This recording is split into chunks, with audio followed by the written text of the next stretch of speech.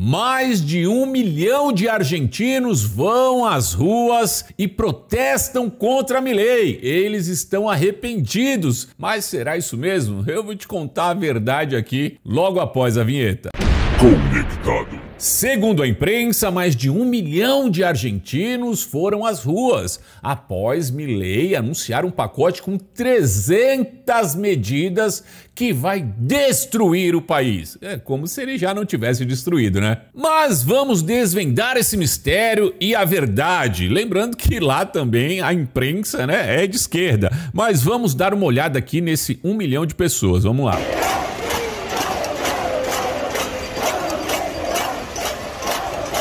Ó, oh, realmente, hein? Tem um milhão de pessoas aqui, pelo, pelo tanto de gente que eu tô vendo, mas já vamos ver de outro ângulo já já.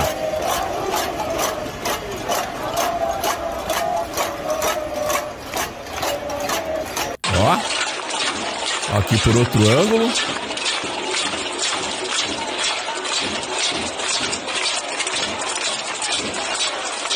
Até aqui nesse meião a gente tá vendo uma manifestação pacífica.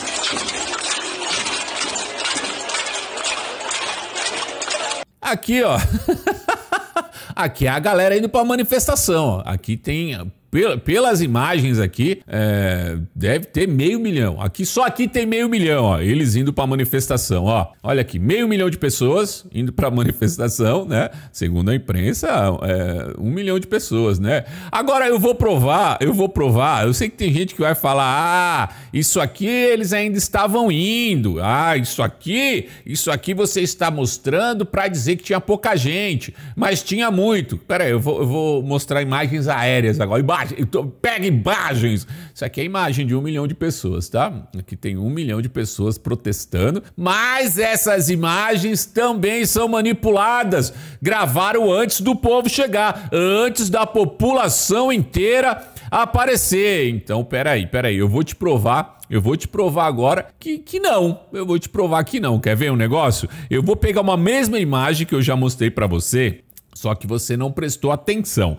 Então vamos lá, vou pegar a imagem aqui que está correndo, né, com essa galera aqui e vou pegar a imagem que vai passar de novo ali ao fundo. Tá vendo isso aqui, ó? Ó, você percebeu alguma coisa estranha nessa imagem? Não? Vamos lá, eu vou mostrar para você, vai. Vamos lá, vamos lá. Um milhão de pessoas, é isso mesmo? Então, então vem aqui comigo, ó. Vem aqui comigo, ó. Ó, ó, ó, ó. Presta atenção nesse ônibus aqui. Tá vendo esse ônibus aqui? Tá vendo? Então vamos lá, vamos lá. Olha o ônibus lá. Olha lá, um milhão de pessoas e o ônibus passando assim, de boa. Olha lá o ônibus passando lá. Você viu o ônibus passando de boa lá atrás? É, rapaz, mas se tivesse um milhão de pessoas, esse ônibus ia estar tá ali, o trânsito liberado assim. Hum, não sei, não sei.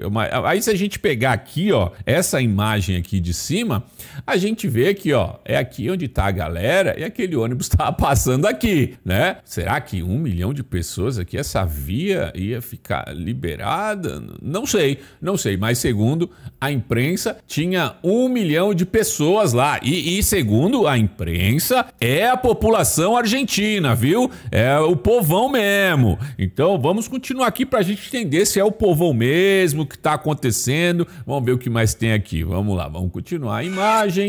Aqui, ó, aqui é o seguinte: é, teve tretinha, né? É, lançaram um pouquinho de perfume na galera, que tinha um pessoalzinho mais, mais agressivo.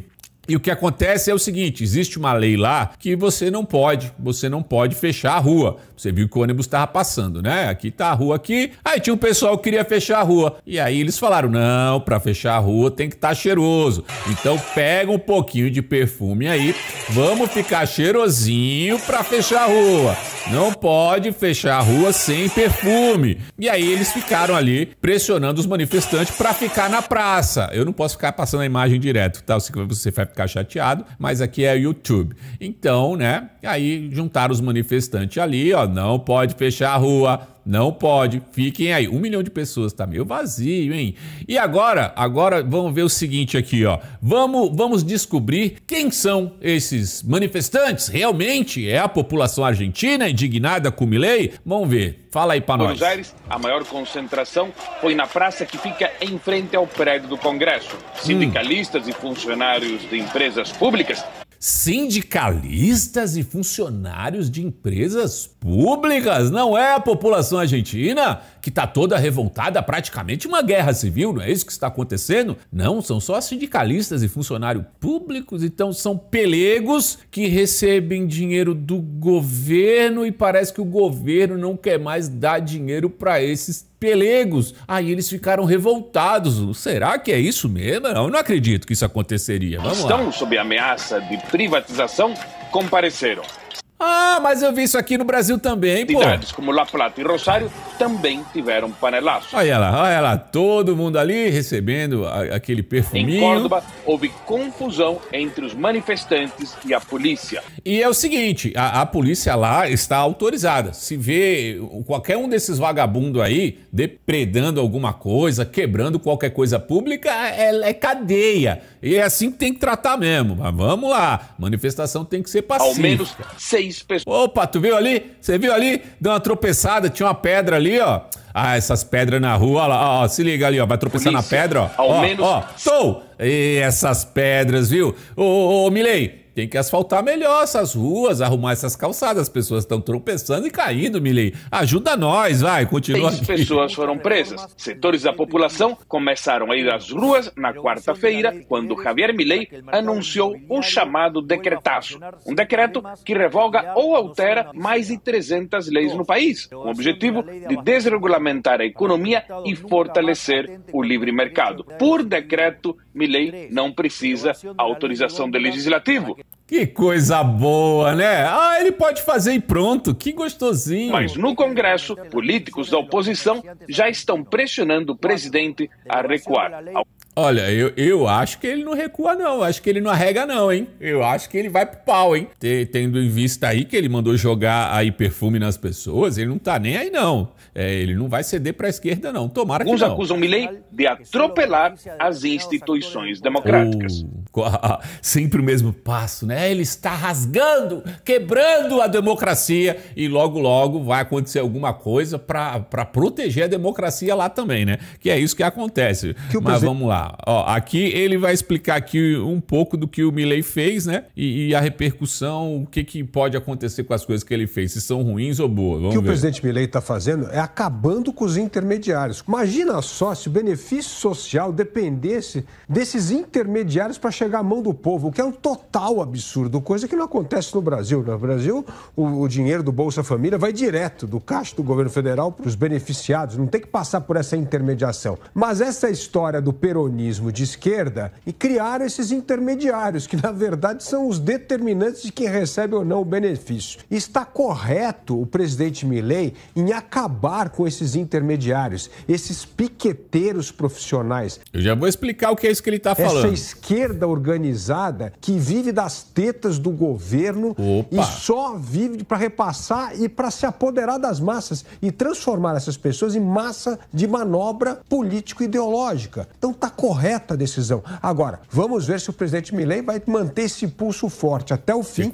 para acabar com essa intermediação e aí sim até seguir o exemplo do Brasil, que hoje tem um cadastro único, todo mundo nesse cadastro único Pegar o Brasil como exemplo é recebe foda. diretamente o benefício do governo federal sem intermediação de organização, de deputado, de quem é que seja. É assim que tem que funcionar o pagamento desses benefícios sociais. Bom, lá é assim, tem o benefício social igual aqui, o Bolsa Família, por exemplo, só que assim, o governo, ele não paga a pessoa, tá? Direto. Vai pra mão de sindicato, vai pra mão de não sei quem, de não sei que lá, e essas pessoas vão decidir pra quem eles vão pagar. Por exemplo, eu sou de esquerda, você acha que alguém pobre de direita vai receber? E é assim que funciona, a gente não sabe se o dinheiro vai todo, se o dinheiro some no meio do caminho, é assim que funciona lá. Então eles estão revoltadinhos, por quê? Porque eles vão perder essa mamata aí, ó. Vamos entender, ó. Os movimentos de esquerda se mobilizaram para protestar contra o chamado Plano Motosserra, que é um pacote de medidas econômicas. Tá. Aí vamos entender aqui ó, o, o negócio que acontece. Ó, vamos lá. É, Lá é o seguinte, eles, eles vão responsabilizar os sindicatos e todo mundo lá que teve que tirar eles lá, estavam tentando fechar a rua e blá blá blá, quebrou não sei o que. Eles até anunciaram quais são os sindicatos que vão ter que pagar. Ah, ficou em 60 milhões o, tudo que eles quebraram, tudo, tudo que teve que mobilizar a polícia e eles vão fazer o sindicato pagar. Que bom que é- se aqui fosse assim também, né? Lembrando que você pode sim se manifestar lá, não tá proibido, isso é uma mentira, só que você não pode fechar a rua. Então é isso, você pode se manifestar na praça. Enquanto estavam na praça, tava tudo bem. Aí resolveram tentar fechar a rua, aí levaram ali um, um Rexona, né, para ficar cheirosinho, já estavam fedendo, para desobstruir a rua. Aí eles foram lá para cima da polícia e a polícia fez o trabalho dela. Ó, é evidente que a maioria das pessoas decidiu não comparecer hoje à marcha. Tinha um milhão de pessoas, rapaz. A marcha prevista fechamento das ruas, porque a medida que temos tido em geral nesse tipo de piquete é uma medida entre 20 e 50 mil pessoas, afirmou ela em comunicado à nação. O número de manifestantes que compareteram ainda não foi divulgado. Ah, mas segundo eles, segundo eles, um milhão de pessoas. Ainda segundo a ministra, um número recorde de pessoas ligou para a linha 134 ativada pelo governo de Milley para que beneficiários de planos sociais possam denunciar caso sejam coagidos a participar de protestos sobre ameaça de cancelamento do benefício. Então, o que quer dizer isso aqui? Como eu disse, é, os sindicatos e os caras lá, eles, eles que distribuem o benefício. Então, ele está exigindo que você vá protestar. Fala assim, não, eu não quero protestar se você não for protestar, eu vou cancelar o seu benefício. É isso. E o Milley está tirando esse direito desses pelegos aí. Não, o dinheiro agora é, é nós direto do governo com os beneficiários. Nós vamos dar direto na mão do beneficiário. Não são vocês que vão decidir. Aí ah, os caras, né? Os caras estão com medo, os caras não querem aqui. Hora antes do início do protesto, o policiamento foi reforçado em diversos pontos de Buenos Aires e nas entradas da, da capital, como em estações ferroviárias, por onde chegavam os manifestantes de cidades próximas. Com autorização do Ministério da Segurança, eh, os oficiais revistaram passageiros de acordo de bordo do transporte coletivo. Então eles não impediram ninguém de chegar. Eles só revistaram para ninguém chegar lá armado e tal, e eles podiam chegar lá na praça e ficar lá na praça. Só que eles decidiram fechar algumas ruas, né? Aí não pode. Hoje tivemos uma operação digna de uma guerra e de um estado de sítio na Argentina, contra o que é uma manifestação pacífica. A gente sabe que a esquerda sempre se manifesta pacificamente, né?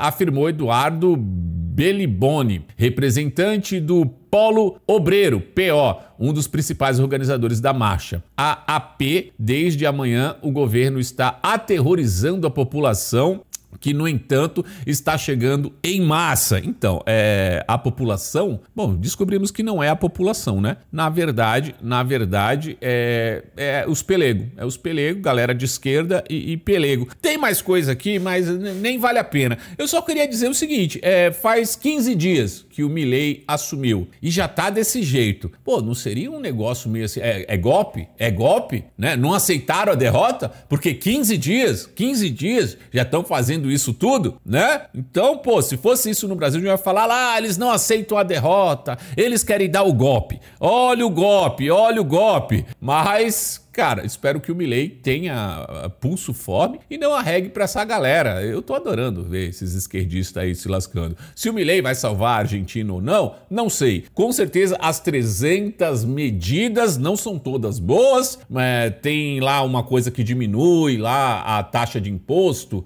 Não diminuiu a taxa de imposto, não. O imposto de renda, por exemplo, que era 8 salários, agora diminuiu para 5,8. A população vai ter que se sacrificar para tirar a Argentina do buraco. Não tem jeito, né? Mas a maioria do povo argentino tá entendendo, entendeu tanto que elegeu ele, ele já falava isso antes, né? Mas a pelegada de esquerda, eu acho que 42%, quase 50% da população argentina é pelego, é funcionário público e ele tá enxugando a máquina. E, malandro, o povo não quer perder a teta, né? Porque uma teta é uma teta, né? Mas diz aí o que você acha disso tudo. Tinha um milhão de pessoas lá. Comente aí que eu quero saber. Deixa like nesse vídeo, compartilhe suas redes sociais. Por enquanto é esse, a gente se vê. Fui!